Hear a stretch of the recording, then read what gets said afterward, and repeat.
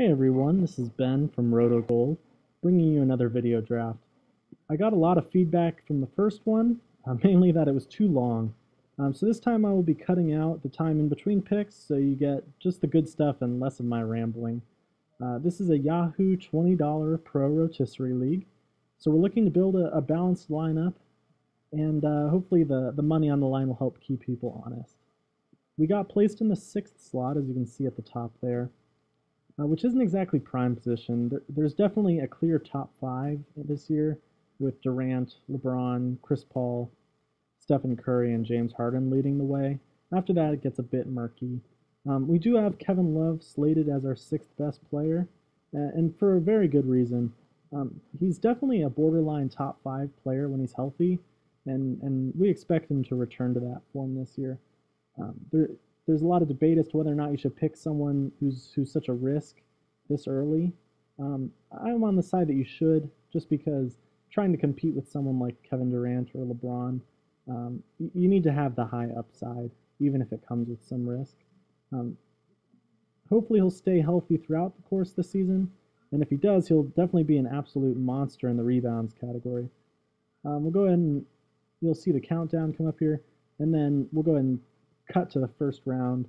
Um, it'll stay that way throughout it. So here we are. Uh, it comes approaching, and as you can see, the, the top four guys selected were as planned, and the fifth, uh, Stephen Curry, comes off the board as well.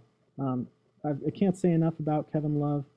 I'm definitely excited to get him as a starting point. He'll, he'll dominate those rebounds, contribute in points, and even chip in some threes from the center position, which uh, definitely can't complain about that.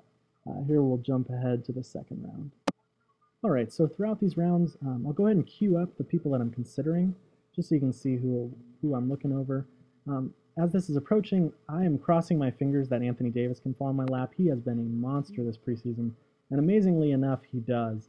Uh, it's tempting to take a point guard here, um, just because having two big men isn't exactly how you want to start all the time, but I definitely can't pass up the upside that comes with Anthony Davis. He, he could very well be a top 10, if not a better than that player.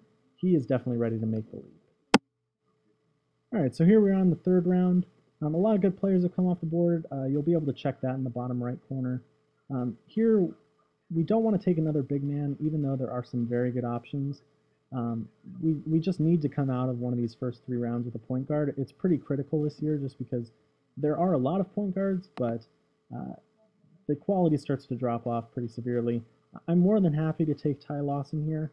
It's he's got some worries just because there's a lot of point guard talent now in Denver, but I have faith that they've got a lot invested in Ty, and, and he'll continue to perform the way he has. So now we've got a pretty good foundation here.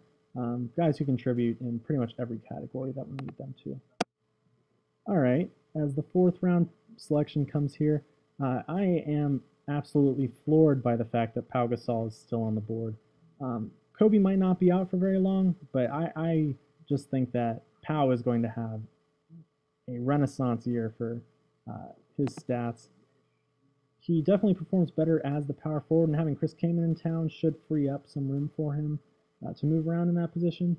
Last year was an anomaly. Um, having Dwight in town really screwed up just about everything and really Pau shouldn't escape the second round. So while I don't really want tons of big men, I am not going to pass up the chance to take this much value. All right, so here we are in the fifth round. Uh, I got a little caught off guard. A lot of the picks that I was hoping to make, mainly Jonas V and Monta Ellis, um, even Jrue Holiday, all kind of came off the board just before me. That, that's going to happen to all of us. Um, you hate it when you do, but I go ahead and queue up these guys. Um, I, I, would like to come out of this round with an, another point guard. I've got more than enough big men, and while Thaddeus Young might be the best overall player, I, I don't want to have to deal with the free throw percentage hit just yet. Um, I, I, don't really have anyone to help bolster that. Um, so I'll, I'll, go ahead and kind of narrow it down to Jeff Teague or Goran Dragic.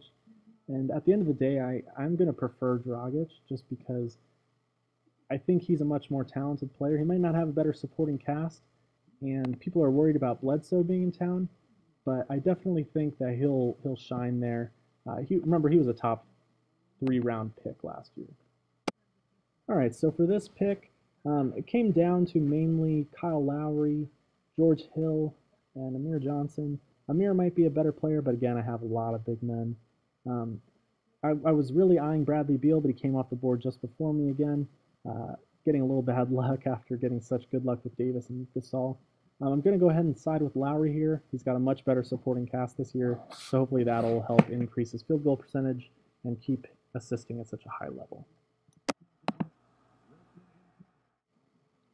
So this pick will probably get the most you're a hypocrite calls, um, but you know I've been harping on the fact that I don't need another big man with how how good, um, how quality the big men we picked up early were. Um, now we've got uh, our guards really set probably should be addressing the uh, shallow shooting guard or small forward positions, but I think there's a lot of good values to come later on.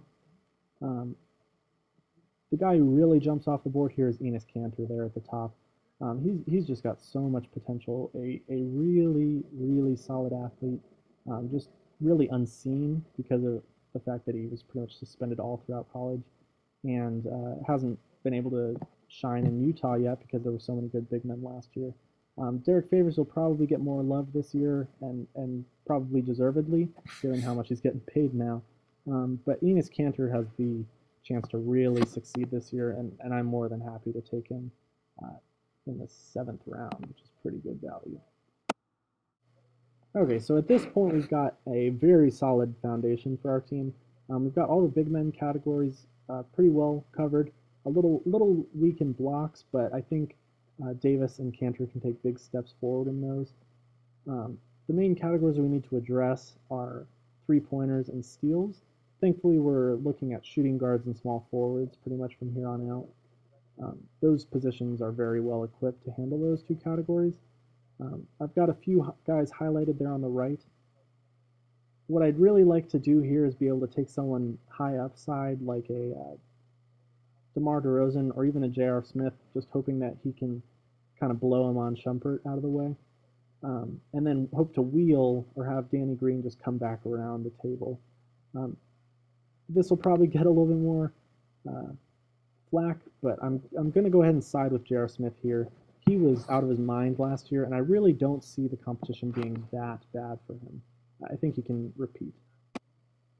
So it probably stands to reason that I should have picked Danny Green in that last one since he came off the board just after us. A bit of a boneheaded move on my part, but I think we can definitely still fill, the, fill those spots. Um, what I'd like to do here is be able to pick up a really solid shooting guard or small forward and then be able to take Eric Gordon coming back around. Um, that's probably a pipe dream as well, but I'm going to go ahead and side with DeMar DeRozan here. He's an incredible scorer, uh, amazing athlete, and now he's got a lot more weapons around him. Um, so hopefully it'll free up some more space for him to not have to jack up so many shots. He'll be able to, to really score efficiently. Um, I really like that pick. It'll be fun to watch throughout the year. So the pipe dream almost came true. Uh, Eric Gordon came off the board just before our pick. Um, at this point in the draft, I think one of my pet picks this year is going to be taking Reggie Jackson in the last uh, three or four rounds. Um, he might not have production all throughout the year, but he is going to be out of his mind for that first month. And I'd much rather take someone like that and pick up the next hot player once his, his job is gone than to try and fight through a year of Manu Ginobili slash Marcus Thornton kind of numbers. Um, he, he's going to be just out of control, and I, I would definitely recommend anyone taking him. Well, we might not need the assists and whatnot, but he'll be a major contributor for this first month. All right, so at this point, we're going to go ahead and try and round our round out our bench um, with some guys who can contribute in those stats that we were lacking, um, namely threes, steals, and blocks. Uh, in, in this round, I think we can really find some values in the threes and steals spots. However, DeAndre Jordan is definitely someone we keep our eye on. Um, if his three, free throw percentage can actually improve, like uh, news from Clippers Town is, is saying, um, he could be a breakout star this year. Um, however, I'd much rather take a chance on a guy like Brandon Knight or Ben McLemore, Dion Waiters, just in the hope that they can put their, their shot together and, and contribute. Um, for this round, I'm going to go ahead and side with Brandon Knight, um, just because he's got a lot more opportunity now since he's the man out in Milwaukee. Um, and he, he showed last year that he can definitely uh, pour in some threes and steals. So uh, good pickup here, I think, to help round out those stats. And thankfully, uh, DeAndre Jordan does find his way back around. So he'll be a major contributor in blocks if we need it. Um, it's nice because you can keep them on the bench, and then if we need some sort of surge in uh, blocks, we'll be able to do that. Uh, I'm going to go ahead and throw Martell Webster on the list too, um, just because I think we're going to need more steals and threes after this pick, and a guy like Martell can really, really fill in those numbers um, now that he's got a, a major paycheck and a, a, starting job. All right, so to round out this draft, you'll see me make a, a bit of a last-second gut decision. Um, I should have probably gone with Martell Webster. Instead, I went ahead and pulled the trigger on Thabo Sefolosha, um, just because I think there's a lot of potential there given Russell Westbrook being out for a while, and now that Kevin Martin's out of town, he can really help with those threes and steals I was talking about without hurting elsewhere. Um, I think overall it was a very solid team, well-rounded. I'd love to hear your comments uh, either on the YouTube page or on RotoGold. And if you'd like to see these uh, more of these in the future, go ahead and reach on out. Um, I'd love to hear what your thoughts are. And if you'd like to sponsor, uh, there's also notes about that in the info. Um, overall, I think a, a, good experience, and hopefully you guys enjoy this one more than my uh, one hour long rant. Bye.